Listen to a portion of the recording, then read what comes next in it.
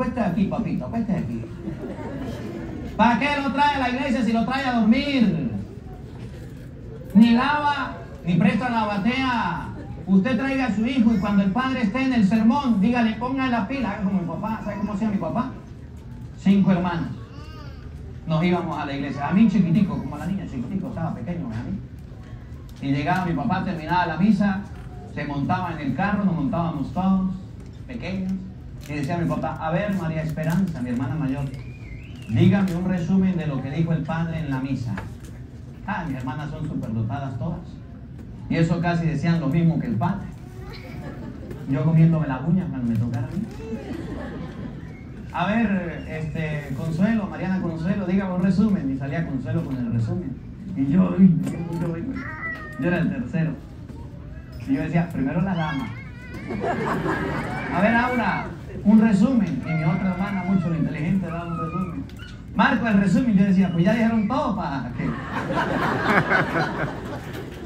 Y tenía que dar un resumen del resumen cortitico de lo que era, pero tenía que decir algo. A mi papá no le daba vergüenza hablarle a sus hijos de Dios, a mi mamá tampoco. Mi mamá nos contaba las historias de la Biblia. Mi mamá se aprendía de memoria lo que pasaba en la Biblia. A mí nunca se me olvida, y se lo voy a contar porque siempre lo cuento, la historia de mi mamá cuando era niño. Me hablaba de Sansón, de la Lila, de, me hablaba de, de, de, todos los personajes bíblicos, pero el que más me acuerdo, que a mí nunca se me olvida, decía mi mamá. Miren cómo contaba, él lo contaba con emoción. No tenía este, televisión ni, ni celular, pero lo contaba con emoción. Decía mi mamá, en una noche, dos mujeres dieron a luz dos hijos al mismo tiempo. Y esas dos mujeres se fueron a dormir. Y una de las mamás, entonces yo comenzaba, mamá, ¿y cómo se llamaban las mujeres? Mamá, ¿y cómo se llamaban los niños? Le decía, escuche. Y esas dos mujeres durmiendo, una de ellas se acostó encima del niño recién nacido y lo mató. Y cuando se despertó y se dio cuenta que su niño estaba muerto, agarró el niño muerto con cuidado y fue y se lo metió, se lo puso a la otra y le quitó el niño vivo y se lo llevó. Y se lo escondió y se acostó a dormir. A la mañana siguiente se armó la zampablera.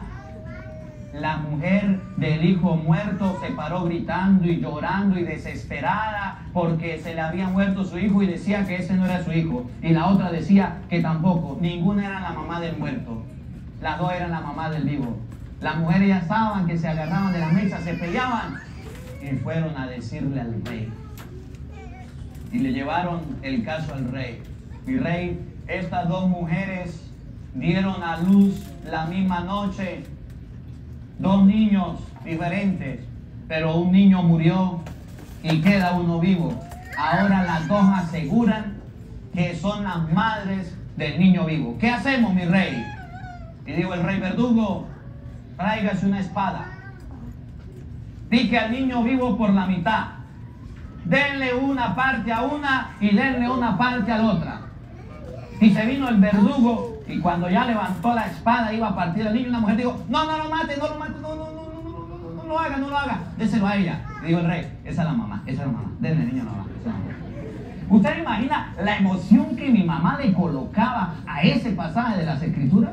¿Saben quién era el rey? Salomón. Y eso está en la Biblia. Con lujo de detalles, ahí está.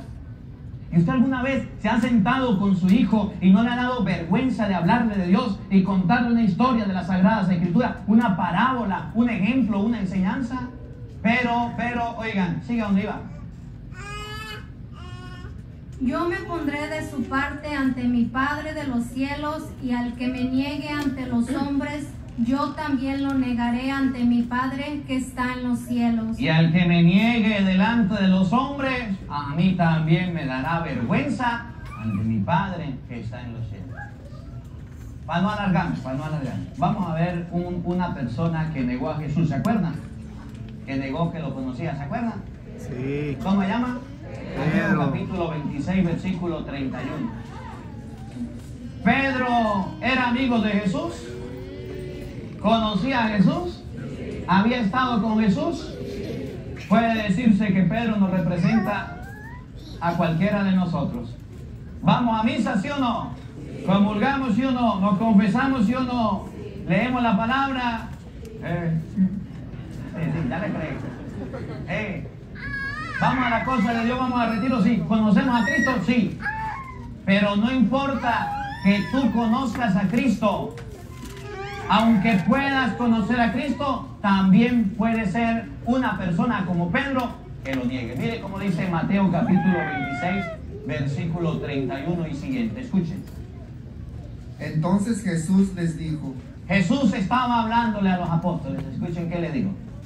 todos ustedes caerán esta noche, Todos ustedes me van a negar, van a caer esta noche, se van a ir, me van a dejar solo. No, padre, yo no. Yo tampoco, no, yo sí soy cristiano. Yo tengo mi fe bien firme, padre. Yo sí tengo que hay un escándalo en la parroquia para que vea cómo usted sale corriendo. Que hay un problema en la parroquia, que el padre lo trate mal, que el coordinador le grite, que a usted le pase algo feo en la parroquia y que no le guste. O sencillo, que hay un virus para que vea cómo se van todos de la iglesia, una pandemia para que vea cómo se van todos. Yo sí creo en Dios. Ahí está la pandemia, no dejó las iglesias vacías, no dejó los templos vacíos. Es que nosotros somos de momento, yo sí creo en Dios, yo soy católico, apostólico y romano. Pandemia, vete para la casa.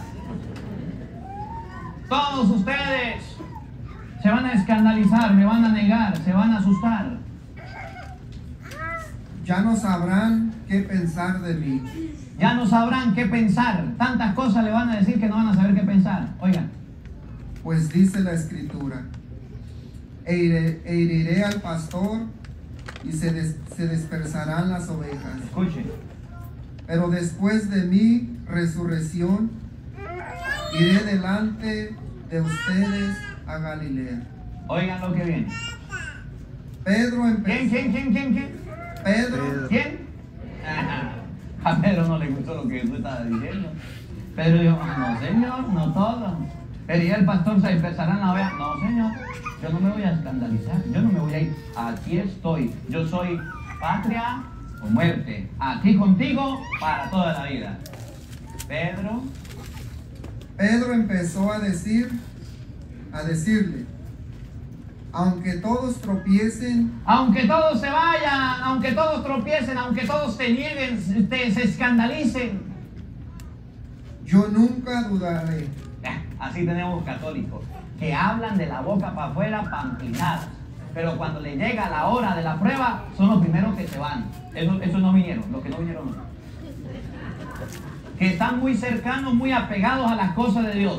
Bautizado, comunión, confirmación, casado, hijo de la iglesia. Hay un problemita chiquito en la iglesia.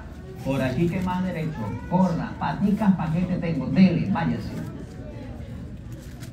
Todos se van a escandalizar de Pedro dijo, no, yo no, yo aquí me quedo. Yo no me voy a avergonzar de ti. Así es nuestra fe de momento, cuando no nos viene la prueba. Pero cuando nos viene la prueba, escuche, Yo nunca dudaré de ti, Jesús le replicó. Yo te aseguro yo te aseguro significa que es una realidad. ¿Qué? que esta misma noche, Esta misma noche, hoy, antes de que cante el, el gallo, antes de que cante el gallo, me habrás negado tres veces. ¿Cuántas veces? Entonces no es una sola vez que se niega a Cristo, sino siempre. ¿Cuántas veces nos avergonzamos de Dios? Varias veces en la vida. Yo estuve allá en Tierra Santa, allá donde se llama la, la iglesia del Galicante. La iglesia donde el gallo cantó. Y cuando vaya a Tierra Santa, usted se va a dar cuenta que hay un lugar donde estaba la cárcel, la, la casa de Pilato, y abajo estaba la cárcel.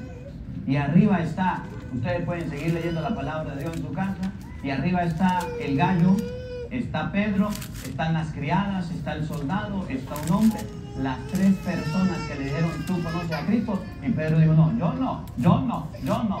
Las tres veces que Pedro negó a Jesús. El que se avergüence de mí ante los hombres, yo me voy a avergonzar de él. Pedro, muy guapo, sacó una espada e hirió a un criado, guardó la espada y se desapareció. Ahí está el lugar de Tierra Santa. Y si usted quiere conocerlo, avisa y vamos en octubre y conocemos la Tierra Santa. Allá en ese lugar donde Pedro negó a Jesucristo. Y nosotros los católicos, que somos muy creyentes, que creemos mucho en Dios y vamos mucho a misa y tenemos altar en la iglesia y tenemos Biblia y rezamos el rosario, andamos en la misa. Llega el domingo a la hora de ir a misa y digo, ay, no. Yo, yo hoy vine porque vino el Padre, pero ya, ya no vuelvo más. Negamos a Cristo, case por la iglesia. No, yo, yo todavía estoy probando a la mujer. ¿Y cuántos años tiene? Tenemos 50 años juntos. Estamos probando a ver si sale buena la mujer. Siga probando. Negamos a Cristo. Los niños, cuando el mamá, el papá los lleva las cosas no dice que no y todo no, se niega a Cristo, se rechaza las cosas de Dios. ¿Qué cosa más brava con los niños, los jóvenes, que no quieren aceptar a Dios? Que el papá y la mamá le habla y dice no. Y dice la Biblia, niños y jóvenes, el que me niegue delante de los hombres tranquilo, cuando usted vaya a mi presencia, yo le voy a decir, no lo conozco.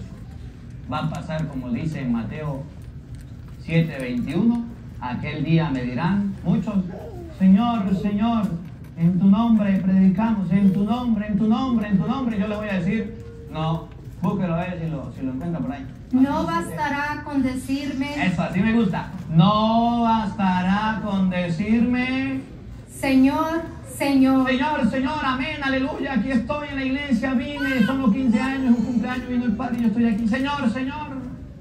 Para entrar en el reino de los cielos, más bien entrará el que hace la voluntad de mi Padre del cielo. El que hace la voluntad de mi Padre. Y escuchen, aquel día, Aquel día muchos me dirán, muchos católicos le dirán, Señor, Señor, hemos hablado en tu nombre pero yo trabajaba en la iglesia y predicaba en tu nombre.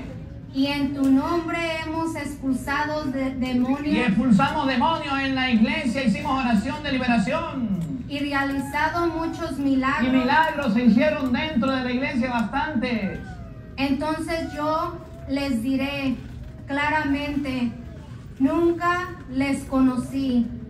Aléjense de mí ustedes que hacen el mal. Porque aunque estuvieron del lado de Cristo, fueron discípulos de Cristo, bautizados y fueron a misa, siempre le dio pena y vergüenza las cosas de Dios. Que a ustedes y a mí no nos pase eso. Que la palabra de Dios habite en nuestros corazones. Amén.